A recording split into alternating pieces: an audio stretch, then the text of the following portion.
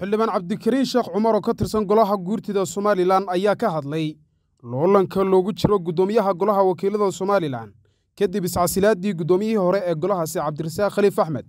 Waxaanuu sheegay xildhibaanku in loo daayo golaha wakiilada somalilan oo keliyata cidda ay u doortaan guddoomiyaha golaha wakiilada somalilan islamarkaasina aanay soo faragelin. Cid kale. Sidoo kale waxa uu ka hadlay xukuumadda uu garwadeenka ka yahay madaxweyne muuse biixi cabdi hoggaaminteeda baaqaya arrinta laascaanood miiska wadahadalka in la isugu yimaado xabadda la joojiyo caqligu inuu shaqeeyo.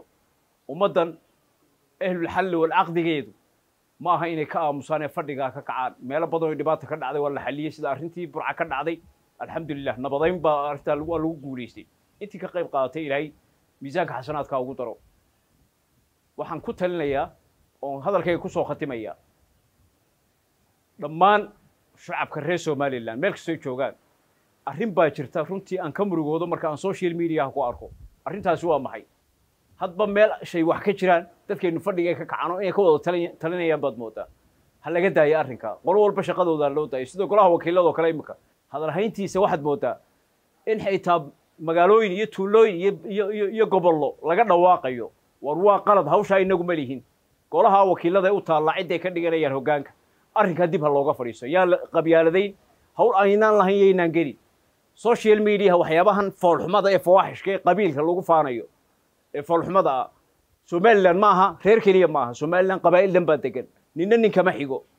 Arrinta laascaanood waa la siyaasadaynayaa. Dadkeenna reer somalilan waxaan uga digayaa isaaqiyo dhulbaanta isma hayaan. Waa laba qabiil isaaqiyo dhulbaanta oo ka mid a jamhuuriyadda somalilan waa degaanka dadkii halkaa deganaa iyo qaranka ama xukuumadda way cidda haysaa waana la dagay oo dad ujeeddo leh ayaa maxaan ku dadka reer sool barakaca iyo dhibkaa ku sameeyey. Dhulbahanti waa reer somalilan dad magac qabiil ku hadlayo daarood iyo dhulbahantiya wax ku hadlayo reer somalilan aa jiro weliba beesha dhexaa. Waniba arrinkaa laga xishoodo. Reform qaranka ku samee oo khaasatan dowladda aad xilka u hayseed maanta madaxweynihii qaranka tahay. Reform ku samee. Reformkaasi cabashooyin badan baa jira dad badan oo cabaraya oo aan xilal ka hayn qaranka jamhuuriyadda somalilan tusaale ahaan markaynu soo qaadanno gobollada qaarkood sida gobollada bariga somalilan ee maxaan ku dhahdaa sanaag bari iyo sool bariba. Kuraastii ay xaqa u lahaayeen may helin ee golaha wakiilada tusaale ahaan. Sababta u heli waayeenna waa registrationkii iyo kaard iyo diiwaangelintii oyna si rasmiya uga qayb qaadan. Numberka dadkoodu number of populationkoodu ma yara way badan yihiin. Tusaale ahaan warsangeri oo saddex degmo laba degmo iyo bardega gobolka sanaag. Hal xubin kamay helin golaha wakiilada. Taana waxa ugu wacan dadkan kale beesha dhexe ama golaha ama maxaan ku dhahdaa goboladan kale dadkoodii waa wada mustaciid waa wada joogaa. Laakiin dadkan halkaa joogaa. Somalilan dee maamul daadejintii gobollada iyo degmooyinka may wada gaadhin sidaa daraaddeed nab hal qof wuxuu uga soo bixi waayo waynu garan karnaa maamul daadejintii gobollada iyo degmooyinka toosu wada gaadhin iyo dadkaasoon qaadan kaarashii registration guud dalka in laga sameeyaana waa muhiim tirakoob guud. Lama kala badna. Hal xubin kuma laha golaha wakiilada. Gobolka sanaag dadka barigee dega sida warsangeriga oo kale. Saami culista waa inay ku yeeshaan qaranka. Waxaan ku odhan lahaa golaha xukuumadda reformka aad samaynayso madaxweyne. Xubnaha golaha wakiilada uga soo baxay gobolka sanaag beelaha kale dega.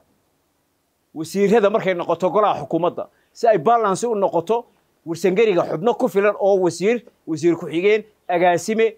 Waa inaad iyaga siiso oo balance ay noqoto maadaama golihii wakiilada iyagu ay ku soo baxeen ay ku leeyihiin xubnaha. Maxaan ku rahdaa golaha wakiilada ay ku leeyihiin kuwana ay ka maqan yihiin. Tusaale ahaan qayb ka mid a ka soo baxday soolla dhulbahanto oo kale. Waa inaad xaggan kale miisaanka ka saxdo oo golaha xukuumadda aad reform ku samayso. Dadkaa xilalka waxa weeye runtii ka haya iyagoo deegaanadii kale ay ka heleen golihii wakiilada xubno golaha wakiilada ah oo baarlamanka ah. Waa inay ku qaadaan xagga golaha wasiirada si ay balance u noqoto oo xaggan aad uga qaadda xilalka madaxweyne. Waa saami qaybsiga iyo waxyaabaha inta badan ay dadku ka hadlaan.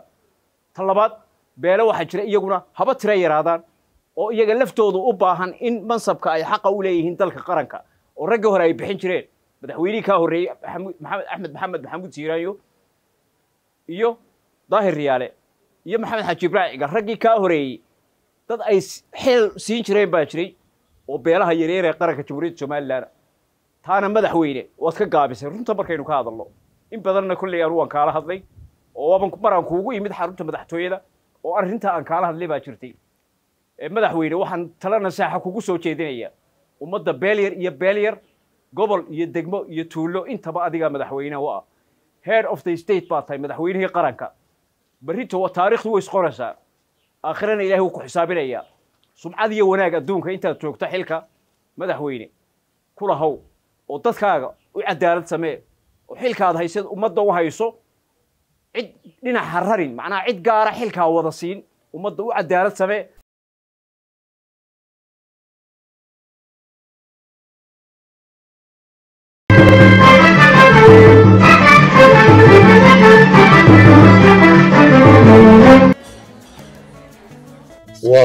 wasbiilkiisu fiicay saaxiib waad ka heshay sooma maasha allah saaxiib maxaad ku shubatay waxaan ku shubtay xilmo furan toban doolar baad ku shuban kartaa shan baad ku shuban kartaa shan iyo toban baad ku shuban kartaa labaatan baad ku shuban kartaa